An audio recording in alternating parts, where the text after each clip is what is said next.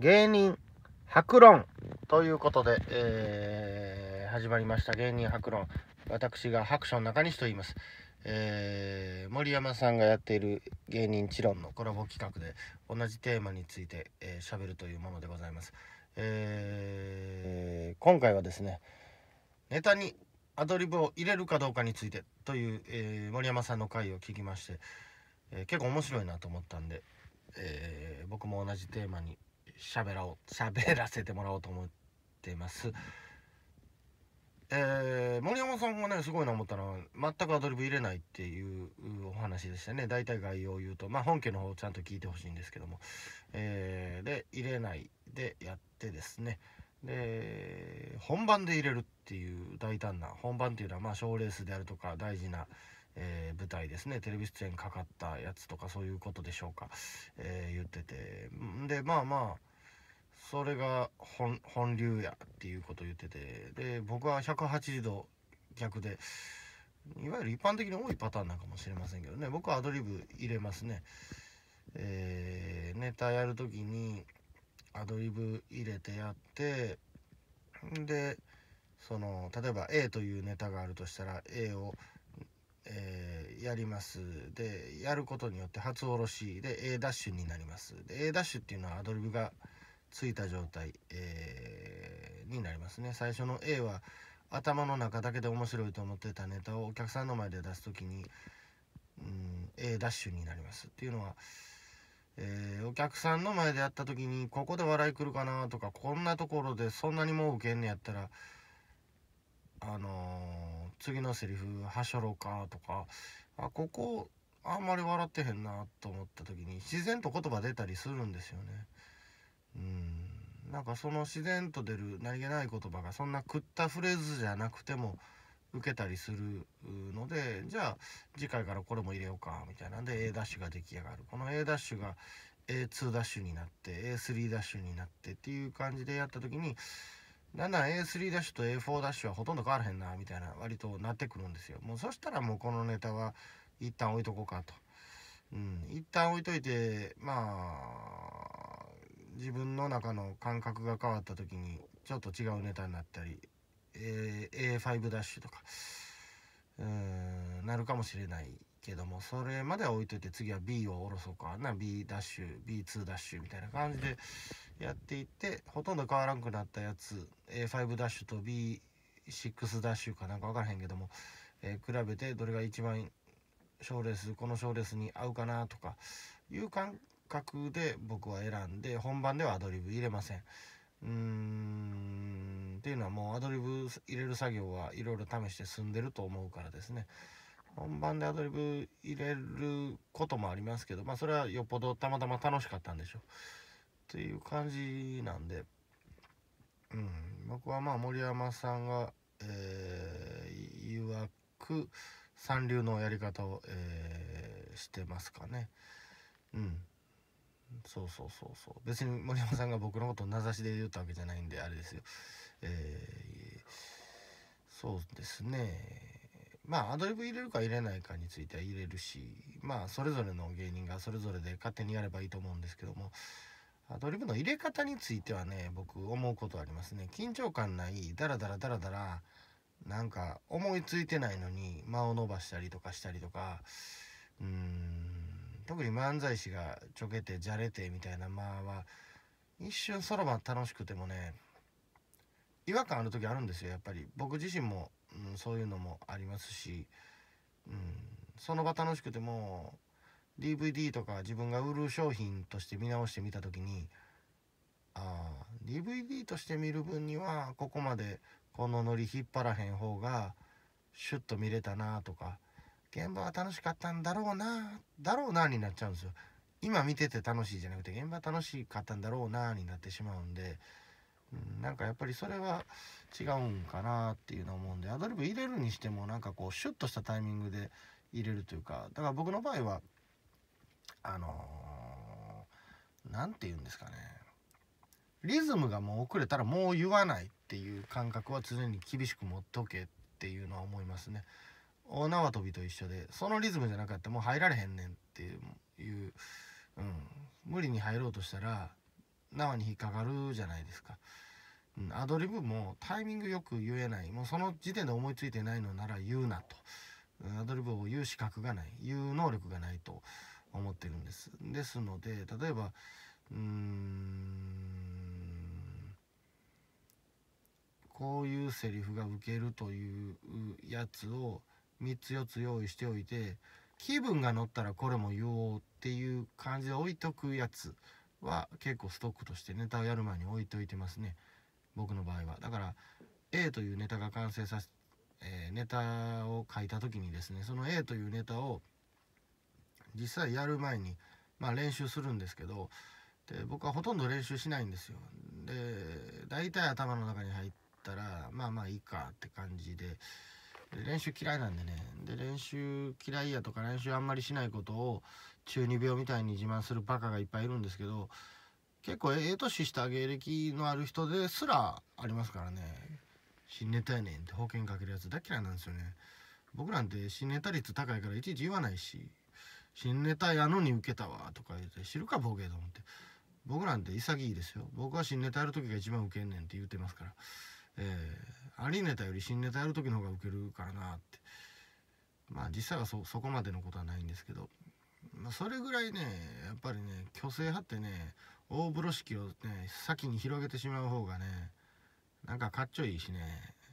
と僕は思ってるんですよね。後で恥かく分は恥かいたらええやんけって。最初に保険かけんなかすと思って。新ネタやからどうたらこうたらとかなんか新ネタやったら多少滑ってもしゃあないよねみたいな。感覚やったりほんで受けたら新ネタやんのに受けたみたいな顔しやがるやつが多いんでねもう腹立つんですよね。なんか頭の悪いそんなそんなに対して面白くない芸人に多いんですよね。うん。新ネタだから僕はねそのでかい口叩いてますけどね新ネタやって爆笑取るのが俺は当たり前と思ってるからね、うん、だって面白いと思って家で考えてきたり喫茶店で考えてきてフリートークじゃないんやろって思うんですよ。だってネタなんて自分で頭の中で考えて面白いよしいける思ってやって滑ったらバカじゃないですか、うん、受けろよ貸すと思うんでよっぽど高尚なネタしてたりねあのー、ほんまに玄人が笑うレベルの高い笑いもあると思うんで例外はいっぱいあるんですけど僕基本的には受けろよと思ってるんで自分に対しても思ってますしで、まあ、ちょっと話それましたけどなので新ネタを例えばやる時に、えー、アドリブ言う時もダラダラ言うなボケと思うし、えー、アドリブ言うにしてもこの尺で言わなあかんねんみたいな、うんリズムがあるんでねネタっていうのは。その尺に間に合わへんねやったらもうそのアドリブで言うのを諦めろとか、うん、アドリブを言う能力を普段から鍛えとけとか自分に対しても思いますしだから僕はアドリブ余地を残す余地っていうのはリズムによって余地が決まってるんでうーんその余地に合わないアドリブは言わないし練習の時もダーって言ってこのフレーズ気持ちいいなっていうこれ言いたいな明らかネタ的に無駄やけどなでも個人的な趣味として言いたいみたいなやつがね何個かストックとしてあってであのー、現場でやって受けたら乗ってきて入れてしまってえー、まあいいネタになっていくという感じですね。うん、そのでお客さんが軽すぎて受けた時と重すぎてもうこのフレーズでは最低限火がつくなという、うん、部分と考慮して比較して、えー、練り直していくっていう感じですね。アドリブ入れるって何のためかとかいうのはね自分が飽きない飽きないためなんですよね。利己主義な感じでお客さん度外視みたいやけど。で引いてはそれが見るお客さん楽しませることにつながってるっていう順番やと思うんで僕はアドリブ入れたいですね。であと練習量少ないのもあの中二病の自慢と全然違ってですね練習量を少なくすることのメリットみたいなのをちゃんとこうメリットとデメリットを把握してるからやってるんでねあのそういう練習少ないのになんかクオリティ高いでっしゃろうみたいな自慢したいようなバカとは一緒にされたくないんですよね。練習するとね本人が飽きてる間みたいなのが伝わるというかうんあのー、ちっちゃい子供の動画とか見るの好きでね僕子供好きなんで。でもあれって一発 OK なんですよね。当たり前なんですよ。子供が勝手に遊んでるのを勝手にスナップで撮ってるから面白いんで。それをもう一回あれやってって言ったらあざとくなると思うんですよね。うん、受けたと思ってやりだした子供はそれはなんかね大人が笑ってんのを見てこれ笑うんやと思ってもう一回やりだした時の子供はねちょっと寒いんですよ。だから僕が新ネタの方がウケるっていうのは当たり前なんですよ。だって俺が楽しくてしゃあないんだから。うん。それその感覚を維持したいがために練習量を抑えて自分が飽きないように持っていくっていうかだから、ネタやる時に飽きない。自分が楽しんでやれるように。でも最低限これは言わなあかん。これはこの尺でこのスピードでこの間で言わなあかんみたいなやつはなんか決めとくんですよね。うん例えば僕まあエピソードトークで喋る時の、えー、話として、えー、僕の家っていうのは男3兄弟の、えー、野郎ばっかりの3兄弟で僕が一番上なんですけども、えー大学に3人とも行かしてもらって大学を3人とも中退するという非常に、え非暴力非武装の親不孝をしてるんですけどっていう言い方をするんですね。非暴力非武装の親不孝っていうフレーズが、えー、面白いから言いたいなってなんとなく思ったとしたらここでね練習段階で非暴力で、えーと、非武装のとか「えっと」とか途中に入れてしまうのをノイズと僕は呼んでるんですけど、えノイズを入れてしまうとですね面白くもなんともないんですよ。非暴力非武装の親不孝っていうのを一息で言わないといけないと一息で言わないと面白くないとだから練習の時は非暴力非武装の親不孝非暴力非武装の親不孝非暴力非武装の親不孝って例えばですよ例えば言うてえー、そこは決まった感じで言うとでノイズっていうのが悪みたいに言いましたけどノイズは必要なんですよやっぱり。あのテープレコーダーの温かみレコーダーの温かみじゃないですけども、えー、ノイズが多少ある方があのその場で言っている感じがする。目の前で生きている人間がいる感じがするので、うん、だからねノイズがない漫才ってあんまり好きじゃないんですよ。個人的な好みとしてね。あの練習してきましたみたいな。練習量が見える漫才があまり好きじゃない。面白くないんですよね。うん、大体の漫才っていうのはクオリティ上げてテンポ上げて、えー、スピード感出してボケ数増やしてみたいな、えー、流れがあのー、大まかに言うとあるんでノイズをみんな省きがちなんですけどノイズがおもろいんですよ。だからあの例えば自分の車を駐車場に止めててあのファミレスかなんかで飯食ってて。で車上荒らしかなんか分かんないですけど自分の車が盗まれそうになってるのをあれ？車誰か運転してるっていうのを見た時にうんまあそれ俺の車？っていきなり言うかって言って「よちょちょちょ」みたいになるじゃないですか。その「おちょちょちょ」みたいなのがリアルで面白い。でそれはでも脚本におちょちょちょってあんま書かないし書けないし生のリアクションが面白いわけやからそこは余地として残しとこうよっていう感覚が僕にとってのちょっとアドリブかなっていうのはあるんですよね。だからうん。だから僕はあれなんですよ。言いたくないことは言わない。言いたい時に言いたいことを言いたい声量で言うっていうのをモットーにしててでだからそれをネタでもやりたいんですよね。うん、だから今日はテンション低いなあっていう時にテンション高いネタをやるっていうのはもうそもそも嫌なんですよね。あのまあまあじゃあ嫌やからどうテンション上げて楽屋でバカ話してテンション上げてそのネタの持っているバカっぽさに自分の気持ちをチューニングしていくっていうかその気持ちのチューニングが合えばあ今日のネタ面白い気がしてきたってなると飽きが来ないでできるんですよ。だから気持ちのチューニングをすると。で気持ちのチューニングというものに、えー、割と労力を割いててでネタの練習量は少なくしてると。だから一見頑張ってないように見えるけど僕はそういうやり方でネタを仕上げていってますね。だから気持ちのチューニングがうんできてるのがいいと。言いたくないことは言わないっていうのはうんモットーですねただお客さんに笑ってもらうためにやるから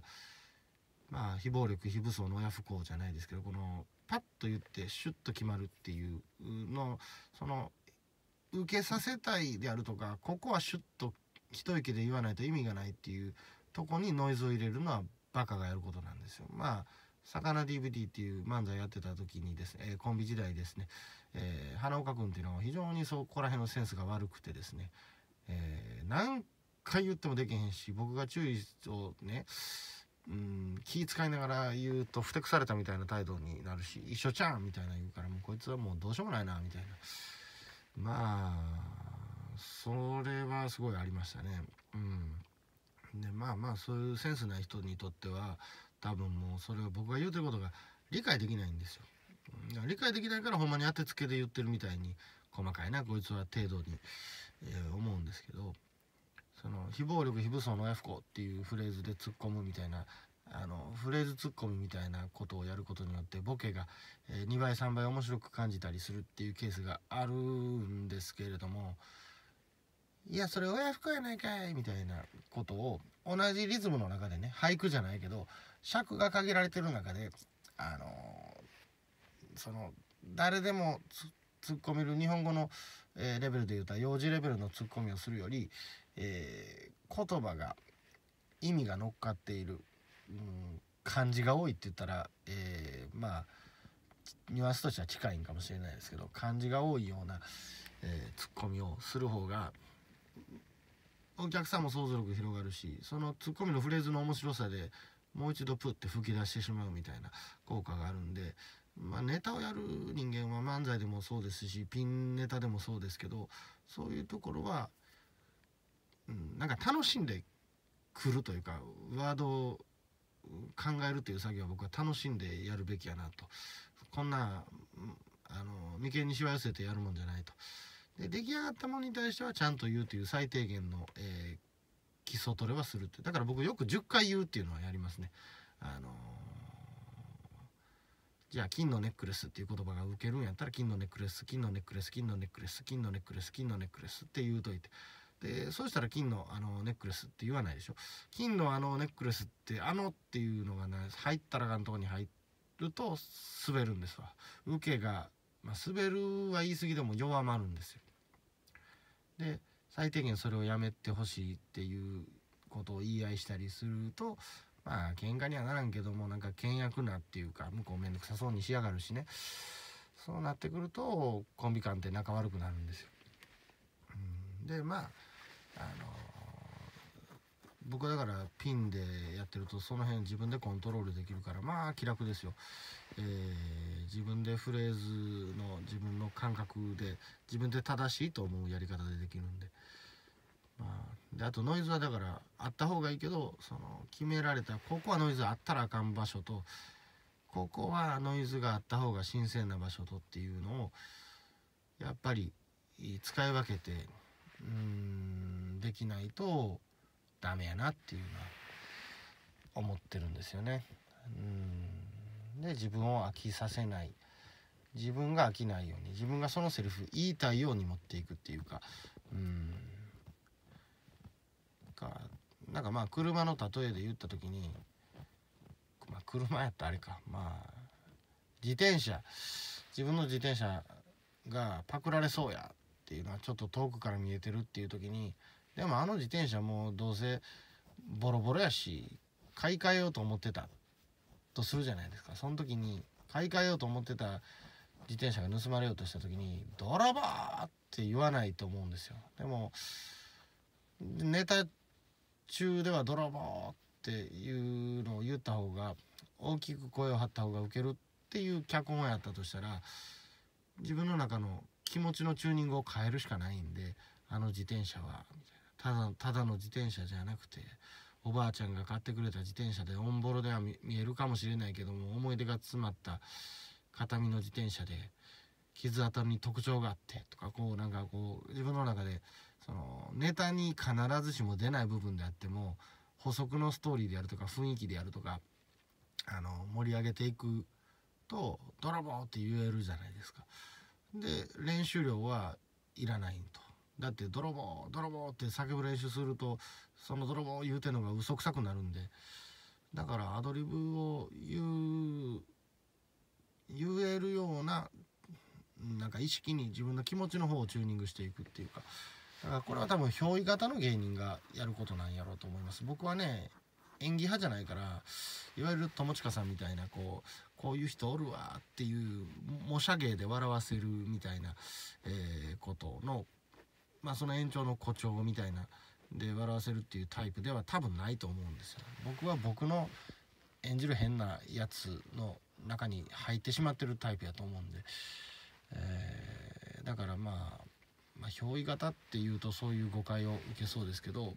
そう、うん、模写芸をやってるという意味ではないですけど僕は多分憑依型なんやと思います。自分の中の、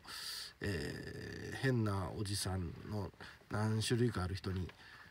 なりきってその場その感覚で言いたいというか、うん、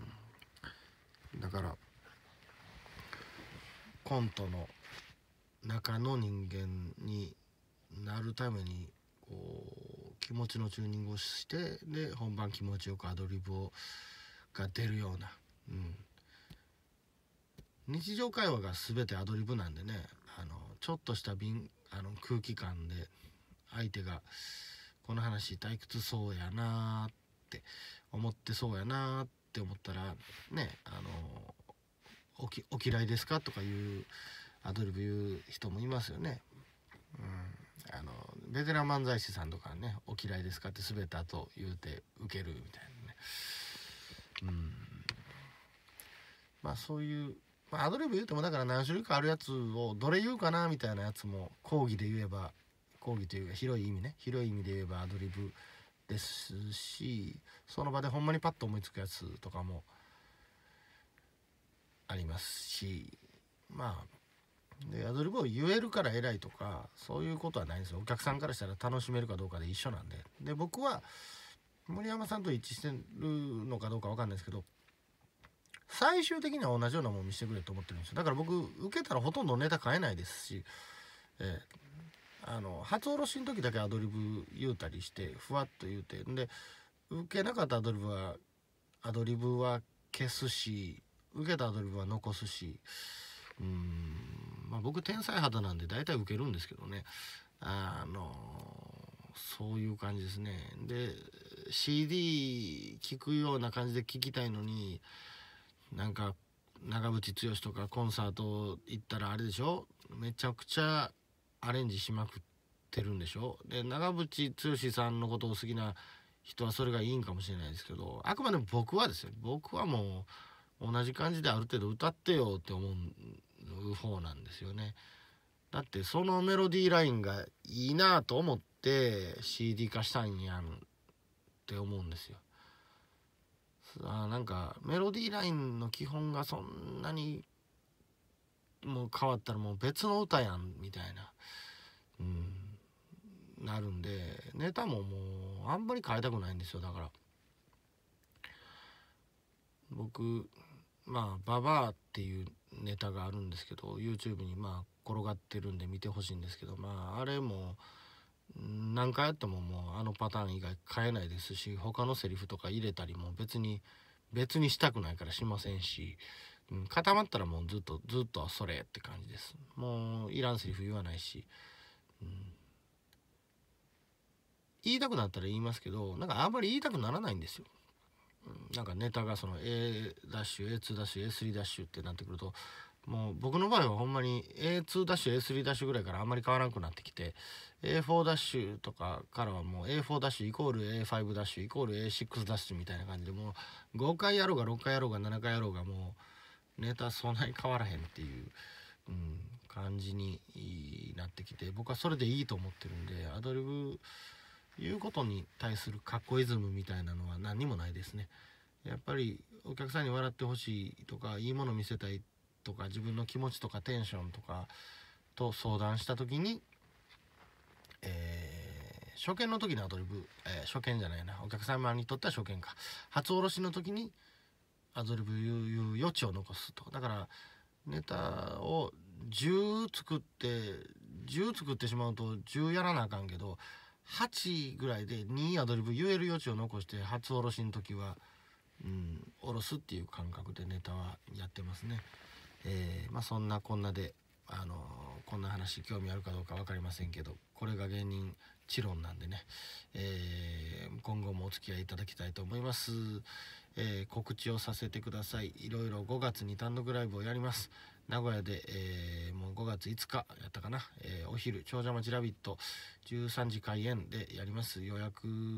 していただい予約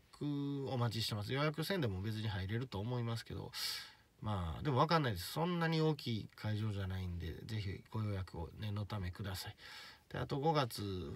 大阪でも単独ライブ2回やります。ネタ内容変えますんでめちゃめちゃおもろいんで、えー、そちらも概要欄にスケジュールとか貼っておきますんで、えー、来てください。今のところ集客ちょっと困ってますんで、えー、まあ僕の実力が疑わしい人は YouTube で白書中西スペースネタとかで、え見てください、え芸人が